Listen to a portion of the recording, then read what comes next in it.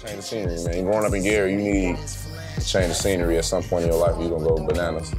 My music is uh, all my life experiences.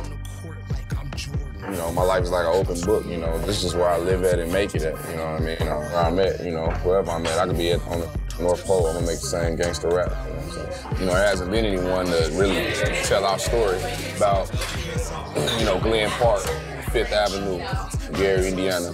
Cause he ain't lived there. You know, the underdogs of America, they want to hear this type of story. We all got struggles and things that we go through.